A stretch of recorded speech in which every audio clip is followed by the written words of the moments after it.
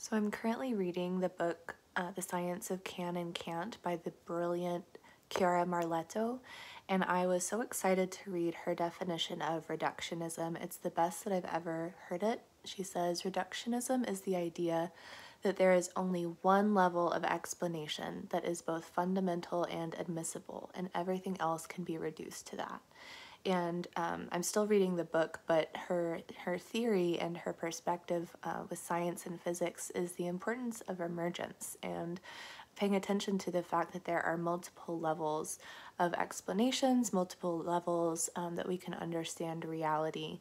Um, and I really appreciate this perspective, and I'm excited to read more, and hopefully, we'll make a video about this book.